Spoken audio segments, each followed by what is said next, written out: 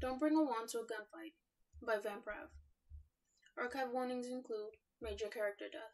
Additional tags Badass motherfucker Lily Evans Potter. Lily is having none of your shit. Crack. Lily is a Parselmouth, for reasons. Summary Lily was a muggle first, and James was a genius at transfiguration. So the last line of defense is a little less magical and a little more muggle. Lily heard his feet on the stairs, a faint creaking that drives tension up her spine like nothing else ever has. She took a deep breath and let it out ever so slowly in an attempt to calm her heartbeat. Harry was deathly quiet behind her, green eyes almost glowing in the darkness. You lost, little girl. He called out as he reached the top step, and Lily's hands tightened reflexively around what she had cupped between her palms. She didn't reply as her brain began to fade into the clear whiteness of instinct left unchecked. The stairs were ten steps away, and she heard every footfall as his boots struck wood. The doorknob turned ever so slowly, and she raised what she held in her hands as it did. He pushed the door open, the grin he wore melting into a look of utter shock as he sees what she's holding. The angry hiss that passed between his lips made her grin in satisfaction.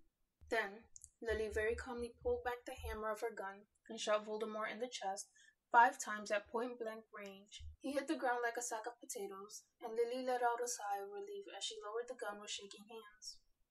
Harry made a little bleeping sound from behind her that made her giggle, and she peered down into his crib to make sure the noise canceling earmuffs she put on him were still in place. They were, and Harry didn't appear to be in any sort of distress, so Lily left him to snuggle his stuffed wolf. She walked to stand over Voldemort, still breathing corpse, smiled down at him before hissing sweetly, I'm a mother first, you dick, and shot him twice in the head. Carefully, she kicked his wand away from his hand and crushed it under the heel of her dragonhide boot. It cracked right down the center and oozed a mixture of black, foul smelling pus.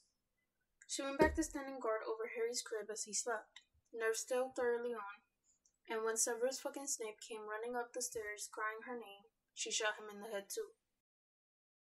You have just finished listening to Don't Bring a Wand to a Gunfight by Vamprav. If you enjoyed the story, please leave them some feedback on archiveofourown.org slash work slash 16742137. And if you enjoyed my reading of the story, you can find me on YouTube at youtube.com slash just stay in bed.